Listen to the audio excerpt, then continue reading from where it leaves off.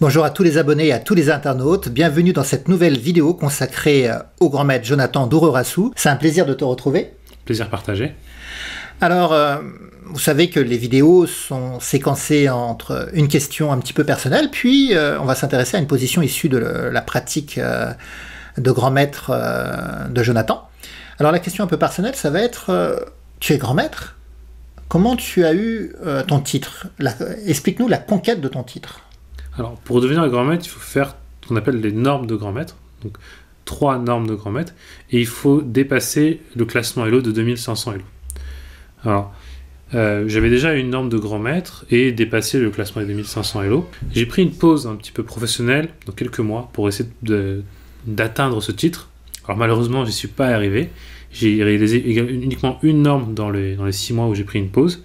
Et six mois après avoir repris un travail, j'ai réalisé ma dernière norme de grand maître. La pause t'avait fait du bien. Exactement. Alors ce qui est intéressant avec euh, Jonathan, c'est que c'est un grand maître qui n'est pas vraiment professionnel du jeu d'échecs, ce qui est assez rare.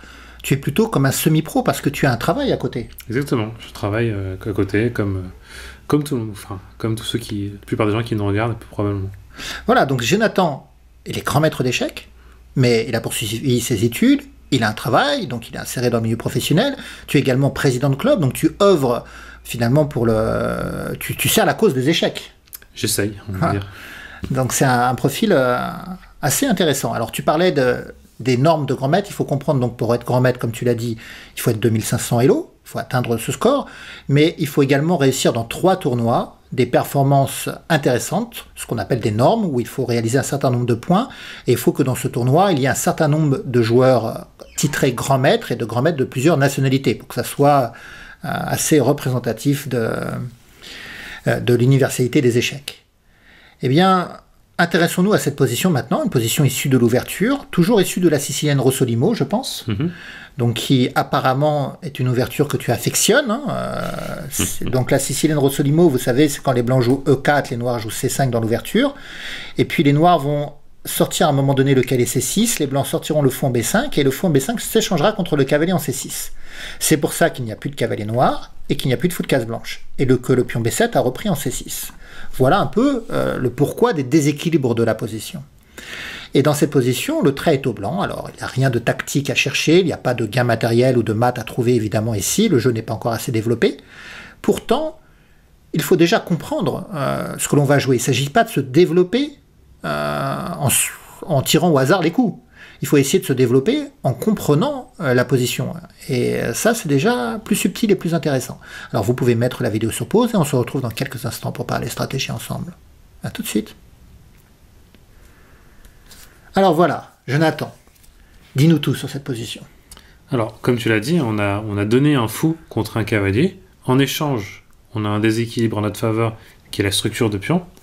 Mais là, si on fait rien concrètement, les noirs, ils vont jouer E5 et ils vont consolider la structure de pion. Alors c'est intéressant ce que tu me dis d'ailleurs, parce que certains joueurs pourraient vouloir jouer D5 en se servant de l'appui du pion, du pion C6. Pourquoi E5 t'attirerait plus que D5 alors, dans un premier temps, E5 m'attire plus parce que ça libère également le fou C8, mhm. l'action du fou, et euh, ça permet de jouer D5 plus tard. En fait, on stoppe surtout l'arrivée du pion e, euh, D4, D4, D4 et du pion E5 également. D5, c'est un coup tout à fait honnête, il hein, n'y a, pas de, a pas de problème. E5 me paraît juste meilleur, on va dire plus de flexibilité pour les noirs, parce qu'on peut jouer D5 plus tard, ou F5. D'ailleurs, moi, je ne suis pas grand maître, je ne sais pas ton niveau, mais je trouve D5 assez critiquable par rapport à E5, puisqu'on est dans un rapport matériel où les blancs ont trois pièces légères capables d'engager un combat sur case noire, contre deux seulement pour l'adversaire, le fou de case blanche ne peut pas, et donc on a plutôt intérêt à garder le pion D6 et à se consolider avec la poussée E5, à se consolider sur case noire pour priver et le fou des diagonales noires et des cavaliers des cases noires, et libérer ainsi le fou de case blanche. Donc E5 participe à la consolidation de la structure sur case noire, et on cherchera à frapper sur les cases blanches par la poussée en F5. Alors que si on joue D5, on va affaiblir la case E5 et la défense du pion C5. Donc euh, effectivement, moi j'aurais plus peur du coup E5, mais c'est ce que tu me disais, de toute façon. Une fois qu'on a dit que le, coup qui nous embêtait côté noir c'était E5, trouver le coup, coup blanc devient logique. Du coup, si on veut pas laisser jouer E5, on joue nous-mêmes. E5 nous-mêmes, pour empêcher le coup noir, donc empêcher la libération du, du fou C8, mais également ce coup va impacter toute la structure de pion des noirs à l'aile dame. Mm. C'est un coup au centre qui va impacter la structure de pion des noirs à l'aile dame. Alors, les noirs ont pris, tu as repris du cavalier, et finalement, pourquoi c'est si dommageable pour la structure de pion des, des noirs? Là, il suffit de compter le nombre de pions isolés côté noir. Donc, si on regarde les pions A7, C6, C7, pardon, A7, C6, C5, on a trois pions isolés, dont deux doublés. Mhm. Donc, Et des cases faibles. et des cases faibles. Des cases faibles, ça va être des cases qui ne sont plus, qui ne peuvent plus être défendues par des pions. Par exemple, Mhm. la case C4, qui pourrait être utilisée par un cavalier, qui a 3, qui a C4, des choses comme ça. Donc effectivement, la structure de pion des noirs est ruinée à l'aile dame. Il n'y a plus de cohésion entre ces pions. Autant le pion D6 pouvait aider à protéger les pions C6 ou C5, autant là, c'est déjà plus possible. Mais n'as-tu pas peur d'un coup comme dame D4 Parce qu'après tout, le cavalier, comme la tour, se retrouve sans protection. Euh, Il y a un petit piège, donc où les, no- les, les blancs peuvent jouer un coup qui est, qui est assez incroyable. Tu, connais peut-être déjà. Et qui permet euh, d'attirer la dame un peu dans un trou pour menacer euh, à la fois de l'enfermer et à la fois d'aller attaquer le roi. Donc le coup ici c'est fou B2. Fou B2. Incroyable ton coup là. Ouais, Mais alors, tu, tu donnes le fou. Et qu'est-ce qui se passe sur Dame prend fou? Ce dame prend fou. Tu joues le coup cavalier C3. Cavalier C3 et la dame est pratiquement piégée. On menace cavalier C4 qui attaque la dame et qui prive la dame de, dans son retrait. Donc là, on menace de gagner la dame. Donc la dame, faut qu'elle s'extrait rapidement. Voilà, donc c'est un peu le principe d'initiative, on force les coups noirs. Et là on a le coup très fort dame F3 qui arrive. Et on attaque à la fois F7 et C6. Ah oui, dame prend F7, c'est presque une attaque de maths. Mhm. Et dame prend C6, bah, ça va pas faire plaisir non plus avec les fourchettes qui arrivent. Ah d'accord, donc on a donné le fou, mais derrière on a une attaque terrible. C'est un guet-apens. Ah, c'est un guet-apens. D'accord, mais c'est pas évident ça. Celui qui connaît pas ça, c'est c'est pas évident de euh, voilà d'oser accepter le coup dame D4. Faut connaître. quand même. Bien sûr, ça, si on le trouver sur l'échiquier, c'est c'est très dur. Mais peut-être que justement, vous pourrez piéger euh, certains joueurs si vous vous retrouvez dans une position comme ça avec la poussée E5, prise cavalier prend, dame D4, vous jouez fou B2, vous attirez la dame en B2, cavalier C3, menace cavalier C4, l'enfermement. Il faut que la dame s'extrait du, du piège, et après dame F3 et l'attaque en F7, en C6. euh, En tout cas, si, si vous le placez, venez le partager parce que ça nous ferait vraiment très plaisir en tout cas de voir ça. Voilà. Donc, ok. Ça veut dire que sur cavalier prend 5, dame D4 ne marche pas. D'ailleurs, ton adversaire, il a été chercher une autre fourchette, il a joué dame D5. Il attaque cavalier et pion G2. Hmm. Mais là, tu peux gérer. Tu peux Là, jouer on cavalier peut F3. gérer, voilà, exactement en revenant tranquillement. Et tu gardes toujours une structure de pion supérieure. Hmm. Quant à la paire de fous de l'adversaire, le problème, c'est que les pions C6 et C5, qui sont des faiblesses structurelles, gênent également l'activité des fous. Vous voyez, le fou peut pas jouer sur cette euh, diagonale. Si le fou vient en B7, il sera bloqué par l'autre. Euh, les fous n'arrivent pas trop à s'exprimer dans ce type de structure. L'adversaire a fait dame 4 échec. Bon, ça attaque ton roi et ça attaque ton pion. Tu as décidé de jouer roi F1. Alors j'avais deux options. Soit je jouais dame E2 et je donnais pion C2, Avec l'idée peut-être petit roc. avec l'idée peut-être petit roc. La tour défend le fou était mieux développée que ton adversaire. Oui. Mais, sa structure de pion n'est pas, n'est pas bonne toujours. voilà. Et en ce qui m'a dérangé, c'est que j'ai trouvé que la position était pas assez ouverte pour profiter de- du pion que j'allais donner. Et donc j'ai préféré simplement mettre mon roi à l'abri. Bon, c'est pas un roc, mais temporairement. C'est temporaire et ensuite on va consolider la position, on va mettre le roi à l'abri et on va être très patient dans cette position. Oui, puis tu vas garder quand même un peu le jeu en main parce que le fait que tu n'aies pas joué dame 2 et qu'il n'y ait pas l'échanger dame Mm. te permettra d'attaquer la dame avec gain de temps par des coups comme D3 qui libère le fou ou KD C3 qui attaque la dame. Oui, exactement. Ouais, donc, euh, alors par rapport au dérocage du, du roi, vous savez, s'il y a fou à 6 échecs, on peut jouer D3, c'est pas un problème. Et puis on peut parfois sécuriser le roi en plusieurs coups avec des rois G1, H3, roi H2, des choses comme ça. Ça peut, ça peut parfois arriver et libérer la tour après qui peut revenir au combat. En fait, on va faire un roc artificiel. Ça va nous prendre plus de temps, mais encore une fois, on n'est pas pressé. On a l'avantage de long terme qui est la structure euh, noire, euh, les pions isolés en A7, C6, C5. Et après tout, les noirs n'ont pas un très bon développement non plus. Non plus. Ils sont pas capables de, de tout de suite punir un, un coup euh, comme roi F1. Hmm. Donc les noirs ont joué cavalier F6, D3 comme attendu, donc la dame est venue en F5, et là, cavalier D2. Alors, tu aurais pu aller en C3, mais tu préfères aller en D2. tu aiguilles peut-être ton cavalier vers la, case E4 ou la case C4 peut-être. Alors la case C4, E4 est une option, mais plutôt C4. Faut faut oublier ce que Nimzovic disait, hein, quand on a une faiblesse, on bloque, on attaque, on détruit. Donc là, on va faire la première étape, c'est vraiment bloquer. bloquer les pions.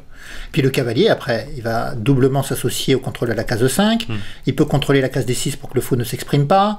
Il peut parfois rebondir en A5 et attaquer C6. Il y a beaucoup de possibilités. Exactement. Donc fou E7. D'ailleurs, il n'a pas voulu venir en D6, peut-être à cause d'un coup comme KC4. Oui, hein. il avait peur de perdre un temps, de se faire attaquer. Fou B2. Petit roc. Et Dame 2. À part la position de ton roi qui interfère dans la liaison des tours, en réalité, toutes les autres pièces sont placées idéalement. Hmm. Mon fou est très beau en LB2, il contrôle toute la diagonale. Et euh, le plus important, c'est il faut garder le contrôle sur les pions euh, de l'aile dame. Donc contrôler la case C4, contrôler la case A4. Et on peut remarquer que tu as qu'un seul fou contre deux, mais le tien il est mieux placé que, ces deux, que les deux siens. C'est sûr. Un qui joue fou à 6, mais le fou se cogne contre le pion D3 qui est solidement défendu par le pion C2. H3, hein, avec l'idée peut-être de jouer roi H1, roi H2. Hmm. C'est ça. Et euh, ouais, Comme Bon. tu l'as dit, on, pr- enfin, on prépare un rock artificiel, on n'est on n'est pas pressé en cette position. Il faut vraiment prendre son temps et y aller doucement. cavalier D5 est joué. Alors t'en profites, lui il veut venir certainement en B4 attaquer C2 ou en F4 Hmm. attaquer ta dame. Mais du coup le cavalier ne surveille plus la case E4 et tu peux jouer cavalier E4. Tu contrôles D6 d'ailleurs. Si tu veux mettre ton roi en G1 en H2, il n'y aura pas fou D6 échec. Cavalier F4 attaque ta dame, donc dame E3. Il revient en D5 et tu viens en E1. Ça c'est intéressant, la case que tu choisis en E1, c'est pas anodin, tu viens pas en E1 par hasard. Oui, alors je menace discrètement d'aller en A5. pour avoir un contact avec les faiblesses noires. L'attaque du fou, le pion C5 que tu attaques deux fois, le pion A5, euh, peut-être que le pion C6 pourra être aussi pris possible assez rapidement. Donc il a joué cavalier B4, il attaque C2, bah, il menace la fourchette quand même. Mm. hein. Euh, donc tu es venu en C3, et toi tu menaces le mat. Oui. Le cavalier E4, attention, il est en l'air, mais on a, on a un coup devant nous euh, pour pouvoir. euh, Ah, le cavalier E4 est en l'air, tu as raison. En fait, quand tu joues dame C3, seul le pion D3 protège le cavalier, mais le fou cloue. Oui, Ce- mais seulement s'il fait dame prend cavalier, il se fait mater. c'est ça. Donc, euh, et il va pas jouer fou F6 parce que ça va permettre de faire cavalier prend fou F6. Mm. Donc il joue F6. Et là, on a le temps pour protéger notre cavalier, donc euh, en mettant notre roi à l'abri. Tu te décloues et bientôt roi H2 pour arriver. et Les tours pourront se mettre en liaison. Mm. Tour D8. Cavalier G3 chasse la dame. Bon, il est venu en G6. A3 chasse le cavalier. Tu repousses. Cavalier D5. Et dame A5. Et on va faire une pause sur cette partie parce que vous savez, la partie elle a été longue. Tu as fini par la gagner en grignotant petit à petit ton adversaire. Mais déjà, on comprend que dans cette position, les blancs sont mieux. Le roi va venir en H2, les tours seront en liaison, plus de problème. Et la structure de pion des noirs est très faible. Le fou est attaqué, mais derrière il y a le pion A7, le pion C5 qui est en danger également. Même si le fou défend, il faut comprendre que cavalier E4 va arriver. hein. Donc on va attaquer le pion C5, on va attaquer sur la colonne A. Il y a trop de faiblesse, même le pion C6 peut devenir faible. Et en fait, les pions, tu les as grignotés et tu, as pris l'avantage. Voilà, donc cette position, euh, finalement, maintenant, euh, on va pas aller plus loin. Donc ça partait d'ici dans l'ouverture, comprendre que les noirs pouvaient jouer E5, se solidifier sur case noire, et on vient impacter la structure de noir. On veut toucher au pion D6 pour essayer de bah, qu'il puisse pas jouer E5 et de casser la cohésion de sa structure de pion. Mais on a vu un piège, un joli piège hein, quand même. hein. Hmm. Il fallait être prêt à réagir à ce coup euh, Dame D4. Essayez de vous souvenir d'ailleurs comment on réagit à ce coup. Eh bien, merci Jonathan. Merci, merci à tous. À bientôt pour de nouvelles aventures. À bientôt.